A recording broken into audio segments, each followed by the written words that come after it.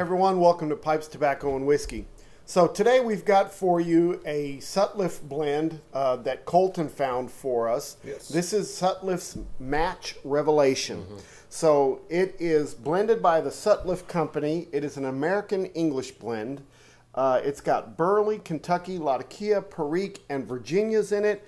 It also has uh, a fruit topping and a citrus topping with it. Uh, it is a coarse cut, comes in bulk. We got this from smokingpipes.com. Uh, the strength of this is about a moderate. The uh, flavoring is pretty mild, although I, I think it's probably a little stronger than that. Um, the taste is moderate, and we will start getting into this one. Uh, this was actually uh, blended to match the House of Windsor Revelation blend. And uh, supposedly the original was one of Albert Einstein's favorite That's bl- why I picked it. favorite obviously. blends. Oh, yeah. Uh, so, yeah, well, it didn't make you any smarter. So it, it- that was not the reason why he was so smart. Um, so anyway, uh, let's go ahead and talk about this one. Let's get into this. What do you guys think about the tin note on this one? Tin note right off the bat. I'd actually like to smell it out of the, uh, the jar, just because it's that's been sitting for a little bit. But but, you know, I get the sweetness. Um, it's it's a lot sweeter smelling than I think. You know, I, I got this one because I. It just had so much going on whenever I was reading it, all the descriptions and everything like that. There's just a lot of stuff in it, and you know, it had this, it had that, and I just really wanted to try something a little bit different. And but I get more sweetness, like I would say, almost a dried fruit kind of thing, maybe. Yeah. For the sweetness, that but that's primarily what I get. I get a little bit of the Burleys as well, not very much of the Virginias. That one you get almost nothing. Yeah, oh, yeah. This is, this smells like a wooden bowl. Yeah. Um, what are you getting? Oh my goodness, this is going to be one of those episodes. Sorry, guys. Um, yeah, there- the topping is predominant on this for sure. Um, very little tobacco scent in this one. I get a little bit of the burley, a little bit of the Virginias. Everything else is pretty subdued. Um, the the topping that I smell the most is m- kind of like a plum topping on this. Uh, also, I get a little bit of maybe a rum kind of scent in there as well. Um, citrus, not so much, um, but a lot of that plum kind of topping, similar to the Vaughn. When we did the Vaughn uh, impressions, it has the topping similar to that. You're saying you get most of the I just get most of the dark fruit. yeah the dark fruit. Not too much of the different tobacco mixtures and stuff like that, but a lot of the dark fruit and Yeah, for as much stuff that's in here, it was you know, fir- first whiff I took it was kind of funky, but it's a little bit different. yeah, Yeah. Honestly, like I'm looking at the cut, like you know, we called it what, what, what we call that a coarse cut. coarse cut. Coarse cut, It's yeah. almost like a cube cut. Whenever I whenever I got it, it kind of looks similar to it. I know it's not, but it, there, there there were hints of that in there whenever I first got it. It was a, it's a weird looking cut. There's so much different types of tobacco in there. I was expecting a little bit crazier of a tin note, honestly. Yeah, I don't, I don't smell any of the perique in there at all. At all. Okay. Well, what's your thoughts on the flavors? I like it. Really? It's real good. I actually didn't really like you- it. I, I didn't think you'd like this one. It's it's it was it was smelled weird when Mm-hmm. I first took a whiff, and then started lighting it up. I was like, okay, it's not bad. It just kind of I, I, I don't. It, it, it's not as complex as I thought it was going to be. It's just No. pretty. It's it's it's straightforward, and I, I don't, I don't know. I you know, I get the peppery notes in there, probably more than anything. Yeah, on the front end, I, I get um, that tart Yeah. tartness with with a little bit uh, of spice and pepper on the tip of my tongue. The sweetness doesn't come as through uh, on the taste as it does on the tin note. I mean, I get a light bit of that grassiness probably from the Virginias, but it's not very strong at all. You know. I feel like I'm tasting more of the burley. Yeah, I'm Yeah, getting a little burley in there. Really, that's that's where my mouth is going to. Is a lot of the burley. Um, It's interesting because I It's a lot. because you're tasting a lot of different tobaccos in that. You're you're definitely getting the burleys and some Virginias in there. I think the Perique is playing in there with the pepperiness uh, of the taste, uh, along with the Kentuckies that are in there as well. I don't get much of a Latakia. No, no, because you know, usually when it, whenever whenever there's a Latakia in a blend, usually it kind of oh, it jumps. yeah, it kind of it kind of takes the it takes a little bit more shape. This is not the case in this one. It's just so much different types of tobacco at once. It's, for me, it's a little bit difficult to zone in on what's going on and try to figure out what I like about it.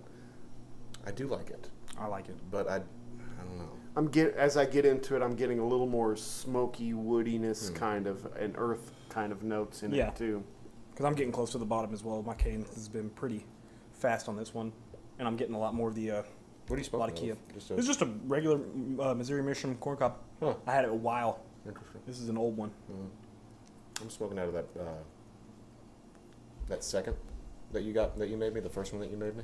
The RNA treasures Yeah, the RNA Treasures second. I think it's a billiard.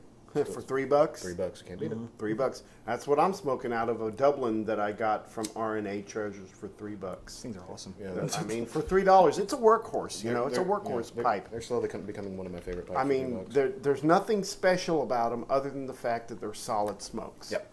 You know, and for three bucks, golly, you can't beat it.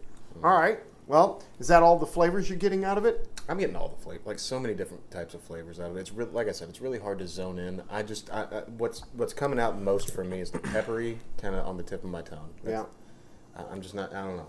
I can't decide why I enjoy it, but yeah, there's a lot of different stuff going on. It's a little bit better once you wash it down with like a little water or something cold. Interesting. All right. Well, tell tell me, talk to me a little bit about the room note. Um, I smell once again a lot of the dark fruit more than anything, but I, I'm getting I'm getting a whole lot of the plum right now. Mm-hmm. Uh, that this it's kind of confusing. You Yeah. know, it's kind of It really conf- is. it- confusing because the tin note. I mean the uh, the tin note tells you one thing, the smoke tells you another thing, and then the room note tells you something even different than that. So it's it's it's really confusing for me. I'm trying to get. I'm trying to get a good nose on it. I mean, it's not a bad room note. It's no, it's it's tolerable. I would say. Um, it's definitely just to, a tobacco-ish room note. It smells like tobacco, and it's tolerable, and it's really quick in and out. It's not a very. It doesn't sit there and stick around. It, It doesn't doesn't linger. linger. It doesn't linger at all. Yeah. Hmm. Okay. I, Well, that, that's kind of like the general just consensus. I think it's just hmm on this one. It's, Yeah. It's it's it's so just. There's what about the nicotine content? What are you guys feeling on this? I'm not really feeling Yeah, anything. It's, it's it's not too It's bad. mild. Pretty mild. It's I pretty- wouldn't even say moderate. I wouldn't No. go that far. I think maybe the more you smoke it, the more you get into it, you might find it more, more moderate because of all the different uh, leaves that are in it. And I'm But, s- but right now, I'm not feeling much of Yeah, it. and I, I'm smoking out of a really small bowl too, so I mean I'm not getting a whole whole lot of it. Um, you said it was supposed to match the House of Windsor Mm-hmm. blend. How long ago was that a thing? well, if Albert Einstein smoked it, it was at least back in the 40s, Hmm. maybe even the 30s and the 20s. So this is an older.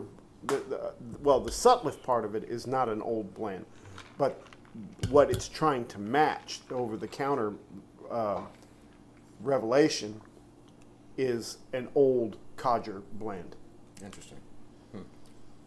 Anything else about the uh, about the room note or the nicotine t- content on this one? No, it's just The moisture level on it is, it, I thought, was pretty good. it's a little damp for my taste. A little bit. It was kind of a pain in the butt to get lit and get going. Yeah, well, I think part of that is also the size of the, the cut. You know, such that Yeah. kind chunky cut Yeah. that you kind of have to work with it a little bit to kind of get it going.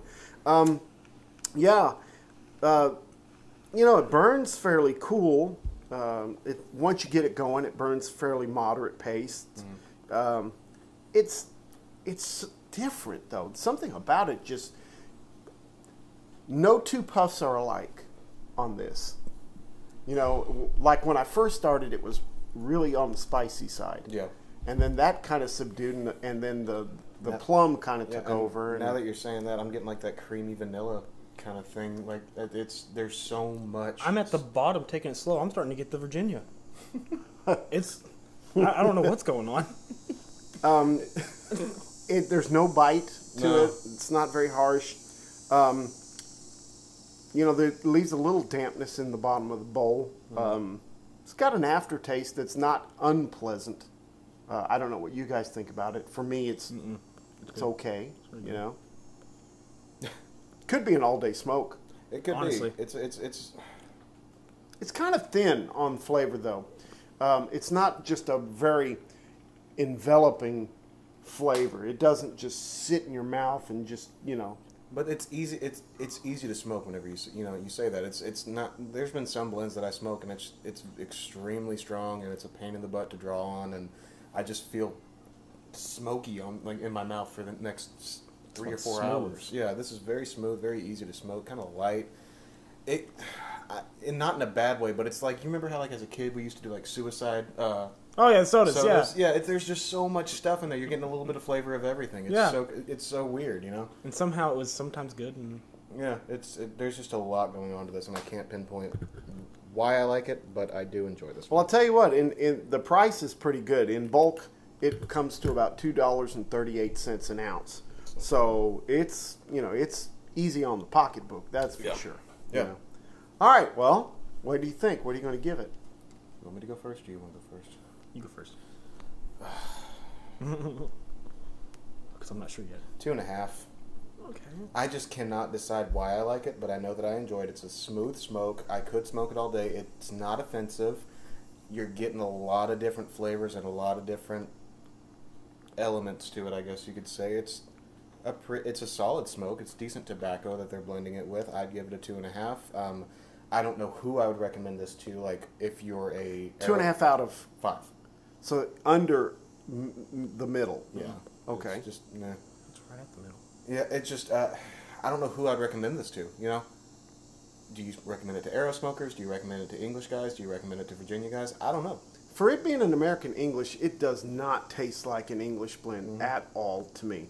It's more of a burley, a flavored burley, than anything else to me. It, it tastes like some of the ones that we tried, like the Field and Stream. Um, there, there was a couple back in November that you and I tried a bunch out at the Yeah, Dearleys. yeah.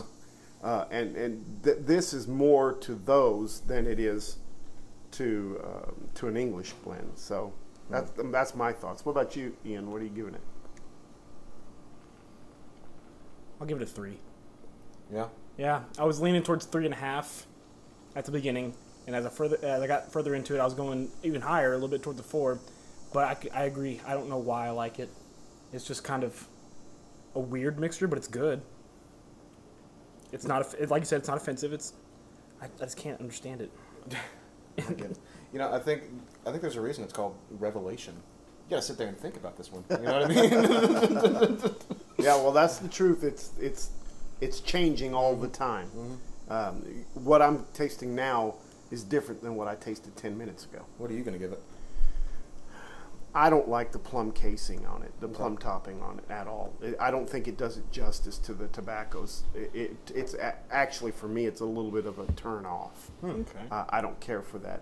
Um, the tobaccos, I'm sure, are you know, Sutliff is is known for having quality tobaccos, um, but for me, this this the casing on this one just didn't help it. So I'm giving it a two. Wow. Yeah, I'm giving it a two. It's not one that I even cared to try again. Fair enough. Yeah. Like I, I- I bought this one and I was like, just I had three or four, maybe even five different types of tobacco in my cart. It's like if you spend over this much, then you get free Free ship, free shipping or free this or that, whatever the heck it was. It was a while ago, so I just threw it in there just to think, you know, it's a Mod Podge. the price is right mm-hmm. for it, you know, and f- it's it's in their select line of selections for a reason. Mm-hmm. They if it was a no seller, people you know they wouldn't keep it. So obviously there's people out there that like it, but just for me. Mm-hmm. It, it's confusing. I, I don't want to have to sit here and think about it that much. you know, I don't. I don't. If- First of all, when you look at it and says it's an English aromatic, you're like, there's nothing in there that I taste as an English. So that part of it already doesn't fit the description. And then as you start smoking it, that plum topping gets in the way. Um, it, the, the, the flavors change too many times through the course of the smoke. Um, yeah, it's just it's just not for me. So anyway, all right. Well, that averages out to a two and a half. Two and a half. All right, cool. Weird. Yeah. so here we go. There's two, Wait. two and a half Yep. for Sutliff's Revelation match. Now there's plenty of Sutliff brands uh, blends out there That are awesome. that are really, Yeah. really great. Yeah. This one just didn't hit the spot with me. So I get you. anyway, cool. You guys got anything else you want to add? No, um, other than you know standard stuff. Thank you guys for uh, you know uh, like, comment, subscribe, all that stuff. We were actually kind of going upwards in number of subscribers, if I'm not mistaken. We, yeah, 1,000. yeah, we're almost at a thousand. We got about 60, 60 more to go for a thousand. right, cool deal. So tell your friends, uh, all, all your pipe smoking friends, let them know about us, all that kind of stuff. Uh, leave comments below. Uh, he reads them, I know, and he replies. I read a few of them here and there. I'm not sure if you do, but um, yeah, we'd love to talk to you guys. It's all about you know just communicating and trying out new stuff and hanging out with pipe smokers. So Yeah. totally cool. All right, guys. Well, th- I, I kind of a little bummed out that, that this one didn't turn. I was uh, really hoping for a good review on this one, but that's okay. You know, every now and then there's there's going to be those kind. The weather's changing now too. My tastes are beginning to change a little bit as well, and so that might be part of it as well. But anyway, okay. Well, I got to see you guys again. That's Yeah. great part of it. I haven't I haven't been able to sit down and do an episode with you guys for a while, so so that's really nice. So thanks for coming. Oh yeah, for sure. Uh, thank you all for watching. We really do appreciate all your comments and views. If there's anything we can uh, share with you, please let us know. And don't forget, Make all your piping moments count. we do appreciate you all. We'll see you next time. Bye, guys. Bye.